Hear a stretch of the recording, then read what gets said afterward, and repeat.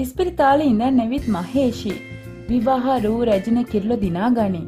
ජීවිතේ ලස්සනයි හරහා ඇයත් හාහාපුරා කියලා රිදී තිරේට ගොඩ උඩා. ඇත්තටම ඇගේ ජීවිතේ ලස්සනයි. ජීවිතේ ලස්සනයි හරහා කලාවට ගොඩුවන ඇයට සුන්දර සැමියෙක් සුන්දර පවුලක් හම වෙනවා. දැන් ඇය එක්දරු මවක්. ඒ විතරක් නෙමෙයි.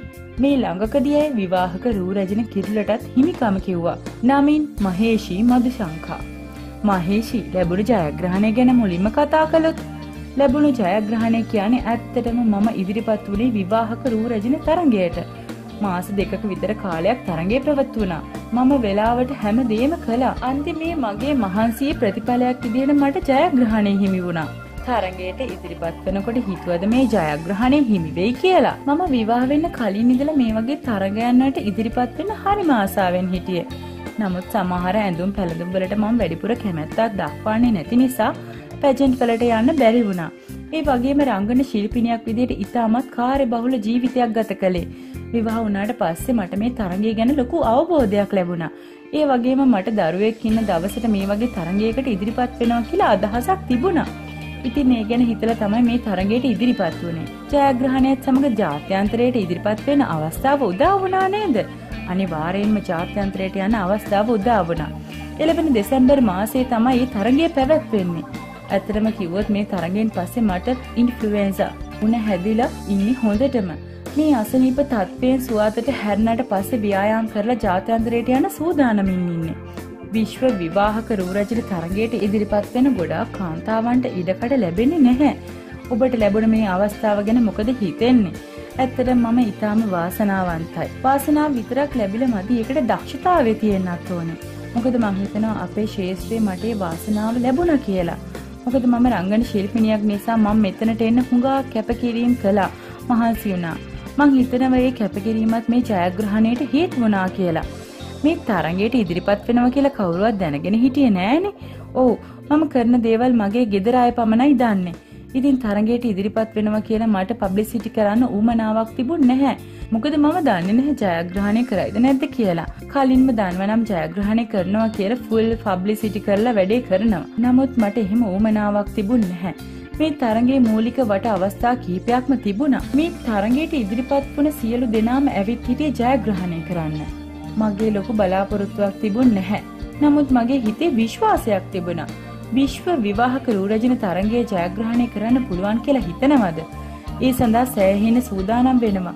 මොකද රටවල් 20ක් 30ක් නෙමෙයි ඒ සඳහා සහභාගී වෙලා ඉන්නේ. රටවල් 80කට එහා මේ තරගයට ඉදිරිපත් වෙනවා. මං හිතනවා මට මේ වෙලාවේ ලංකාවේ සියලු දෙනාගින්ම සහයෝගය උමනා වෙනවා කියලා. මේ ජයග්‍රහණයත් සමග රඟපෑමෙන් ඉවත් වෙනවද? රඟපෑම කියන්නේ මගේ ජීවිතය. දැනට මම කරපු ටෙලිනාට්‍යයක් තියෙනවා. ළඟදීම ඒක විකාශනය වෙනවා. රැකියාවත් සමග මිනිස්සුන්ගේ නැවත උපදීමක් තියෙනවා. මටත් එවැනි ඉපදීමක් ඇති වුණා රංගන ශේෂ්ත්‍රයට පිවිසීමත් සමග. මොන දේවල් වුණත් මං හිතන්නේ රංගනය කියන එක මගේ ජීවිතෙන් ඈත් වෙන්නේ නැහැ. මගේ ජීවිතයට මිනිස්සුන්ගේ ආදරය ලැබුණේ මගේ වෘත්තිය නිසා. ඒ නිසා කවදාවත් මේ ශේෂ්ත්‍රයට පහත හෙලන්නේ නැහැ.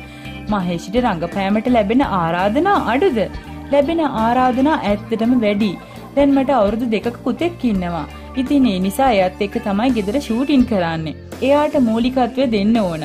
අනිත් එක මගේ ස්වාමි පුරුෂයාගෙනුත් ලොකු සහයෝගයක් ලැබෙනවා. දැන් මගේ බබාට අවුරුදු දෙකයි. දෙකමාරක් වුණාට පස්සේ තමයි වැඩිපුර රඟපෑමට කැපකිරීමක් කරන්න හිතාගෙන ඉන්නේ. මේ වෙලාවේ පුතාට තමයි මූලිකත්වය දීලා තියෙන්නේ. සැමියා මේ තරගෙට ඉදිරිපත් වෙන්න එපා කිව්වේ නැද්ද? ඔහු තමයි තරගේ පටන් ගත්ත දවසේ ඉඳන්ම මගේ ළඟින් හිටියේ. මගේ අම්මත් පුංචි පුතාව බලාගෙන ලොකු සහයෝගයක් ලබා දුන්නා. සැමිය මාත් එක්ක හැම තරගයකටම ආවා. වචනයෙන් කියන්න බැරි තරම් සහයෝගයක් ලබා දුන්නා. ඇත්තටම කිව්වොත් මගේ සැමියාගෙනුයි අම්මගෙනුයි ලැබුණු සහයෝගය නිසා තමයි මට මේ ජයග්‍රහණය ලැබුණේ. මේ ජයග්‍රහණයේ කිරුළ පළඳින වෙලාවේ ඔබ අසනීප තත්ත්වයේ පසුනා කියන්නේ ඇත්තක්ද? මගේ පුතාටත් වගේම මටත් උණ හැදිලා තමයි හිටියේ. ඇත්තටම කියනවා නම් ඔක්තෝබර් පළමුවෙනිදා තමයි තරඟය තිබුණේ. සැප්තැම්බර් 30 වෙනිදාත් මම රෝහලේ තමයි හිටියේ. සේලයින් දිදී තමයි හිටියේ. හැබැයි මම දෙවිය බුදුන් හරියට විශ්වාස කරනවා. රෝහලේ ඉඳගෙන පිරිත් පවා ඇහුවා. මම දෙවියන් බුදුන්ගෙන් ඉල්ලුවේ පළවෙනිදා මාව තරඟයට ඉදිරිපත් වෙන්න අවස්ථාව උදා කරලා දෙන්න කියලයි. අන්තිමේ පළවෙනිදා වෙනකොට උණ අඩු වෙලා තිබුණා. මේ තරඟයේ හිටපු සියලුම තරඟකාරීන්ගෙන් ලොකු සහයෝගයක් ලැබුණා. ඒ නිසා මට මේ ජයග්‍රහණය හිමි වුණා. මං ඇත්තටම හිතුවේ මේ කිරිල්ල මට ලබා ගන්න බැරි වෙයි කියලා. ඒත් අන්තිමේදී මගේ අම්මා සැමියා මාව ගොඩාක් දිරිමත් කරා. මගේ පුතා ගැන හිතලා හිත හදාගෙන මම අන්තිමේ තරඟයට ඉදිරිපත් වුණා. මගේ පුතා තමයි මගේ ජීවිතේ. මම ලැබපු එකම සම්මානය තමයි මගේ පුතා. චූටි පුතා හරි ආසයි මම ටීවී එකේ ඉන්නවට. කවදා හරි දවසක එයාටත් ආඩම්බර වෙන්න පුළුවන් අම්මා විශ්ව රූ රැජින කියලා.